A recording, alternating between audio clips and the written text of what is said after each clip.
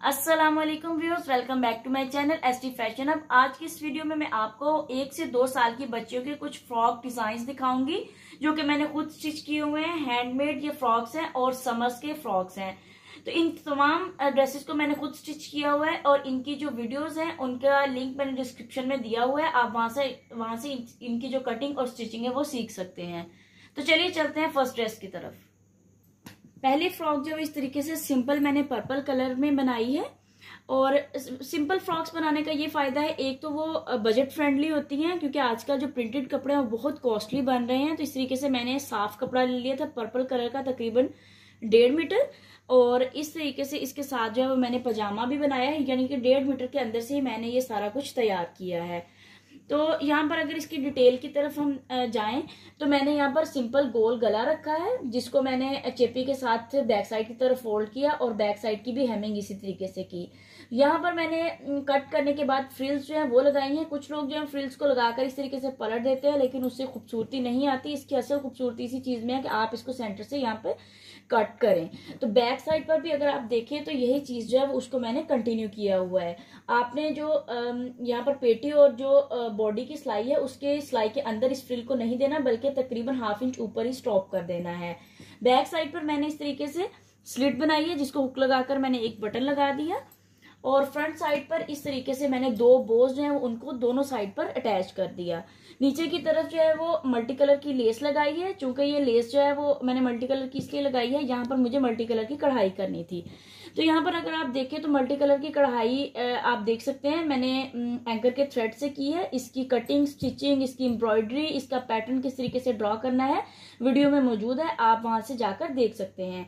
तो यहाँ पर ये देखे मैंने इस तरीके से दिल वाला पैटर्न ड्रॉ किया था और उसको फिर मैंने जो यहाँ पर फुलवारी टांका होता है, उसके ज़रिए इसको फिल कर लिया। तो इस तरीके से सिंपल सा ये फ्रॉक है और बहुत ही ट्रेंडी और खूबसूरत लग रहा है। रेडीमेड फ्रॉक्स अक्सर जो है वो इस तरीके से बने होते हैं। तो इसके साथ मैंने ये पजामा रेडी किया है। सेकेंड ड्रेस मैंने कुछ इस तरीके से बनाया है, ये लेफ़्ट ओवर पीसीस से मैंने बनाया था। तो यहाँ पर मेरे पास स्ट्रिप्स में ये तो तीन पीसीस थे, जिनको मैंने सेंटर वाले पीस को इस तरीके से कट कर लिया था गुलाई में, और यहाँ पर फ्रिल अटैच कर दी थी, जबकि जो बैक साइड है उसकी फ्रिल जो है वो मैंने सिर्फ़ यहाँ यहाँ तक अटैच की है।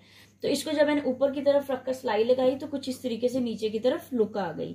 तो इसका मेन काम जो था, वो यहाँ पर बॉडी का था। और अगर हम यहाँ पर योग की बात करें तो योग पर मैंने सिंपल फ्रिल लगाई है और यहाँ पर पाइपिंग ऐड की है। और बाजू पर भी मैंने दो कलर की फ्रिल लगाई है। एक तो सेम जो मेन फैब्रिक है उसकी और एक जो है कंट्रास्ट वाले फैब्रिक की। तो ये लेफ़्ट ओवर पीस था। इस तरीके से मैंने बैक साइड पर सिंपल रखी है। इसकी कटिंग और स्टिचिंग भी मेरे चैनल पर मौजूद है। वो प्रिंट दूसरा है, लेकिन सेम इसकी स्टिचिंग जो है वो इस तरीके से है। तो वहाँ पर मैंने चिकन लेस यूज़ किया। यहाँ पर मैंने सिंपल कपड़े की फ्रिल जो है वो यूज़ की है। तो यहाँ पर इसके साथ जो मैंने बनाया है, वो सिंपल रेड कलर का पजामा बनाया है। तो इस कॉम्बिनेशन देखे ब्लू और रेड का कितना खूबसूरत लग रहा है। अब जो थर्ड ड्रेस है, वो इस तरीके से व्हाइट कलर में है। ये भी मैंने सिंपल ही रखा है। मैंने इस दफ़ा जो ज़्यादातर ड्रेसेस की डिज़ाइनिंग की है, वो सिंपल रखी है।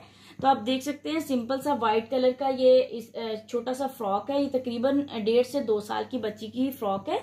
और यहाँ पर बाजू पर इस तरीके से मैंने बहुत ही फिनिशिंग के साथ जो है वो पाइपिंग सॉरी फ्रिल लगाई है। और यहाँ पर तकरीबन स्लीवलेस लुक भी आ रही है और स्लीव्स अटैच होने वाली लुक भी आ रही है। तो यहाँ पर ये जो गला है वो मैंने चेपी के साथ बनाया है और बैक साइड जो है वो मैंने इस तरीके से स्लिट रखी है। इस पर मैंने अभी हुक लगाकर बटन लगाना है।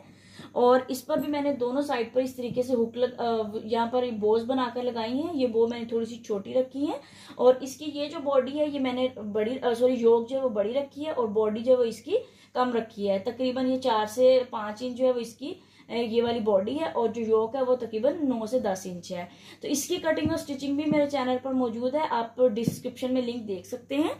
तो इसके साथ जो मैंने कैप्री बनाई है, वो कुछ इस तरीके से बनाई है, ये स्टाइलिश सी इसकी कैप्री है, जिसको मैंने नीचे की तरफ़ भी इस तरीके से इलास्टिक देकर फ्रिल बनाई है और ऊपर जो वो मैंने इलास्टिक जो है वो अंदर अटैच की है।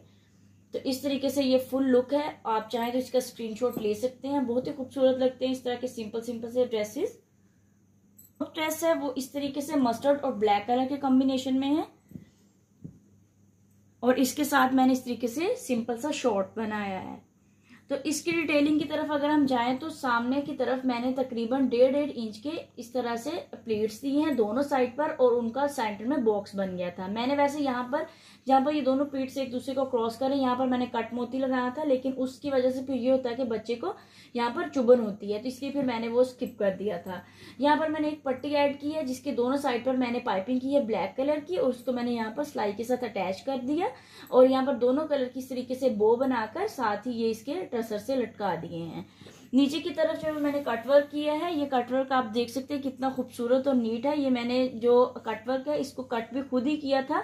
बहुत सिंपल और इसका तरीका है। आप अगर वीडियो देखें डिस्क्रिप्शन में इसका लिंक मौजूद है तो वहाँ से आप बासानी सीख जाएँगे कि किस तरीके से हमने ये कटवर्क खुद से रेडी करने हैं। तो डबल कट वर्क है, आप देख सकते हैं बैक साइड से ये कुछ इस तरीके से है और यहाँ पर जो सिलाई थी, उसको फिर मैंने कवर करने के लिए यहाँ पर एक लेस लगा दी।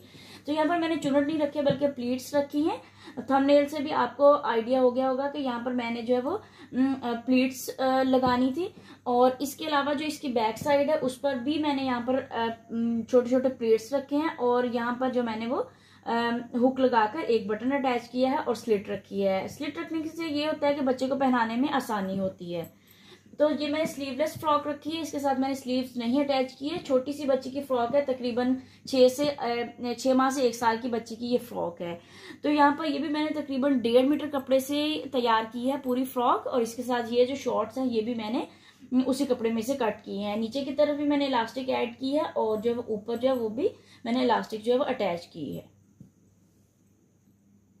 होप सो आज के डिज़ाइन आपको पसंद आए होंगे। तमाम फ्रॉक्स जो है वो मैंने खुद स्टिच किए हुए हैं। इनकी जो वीडियोज़ है, मैं अगेन बता रही हूँ। डिस्क्रिप्शन में मैंने लिंक्स जो है वो मेंशन कर दी हैं। आप वहाँ से इनकी कटिंग और स्टिचिंग सीख सकते हैं। ये तकरीबन तमाम ड्रेसेस जो है वो वन ईयर के अंदर अंदर रहकर मैंने बनाए हैं। ये जो ड्रेस है, ये थोड़ा सा बड़ा ड्रेस है।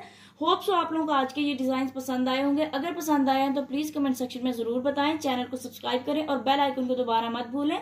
ताकि हमारी हर नई आने वाली वीडियो आप तक बसानी पहुँच सके। नई वीडियो के आने तक अल्लाह हाफिज।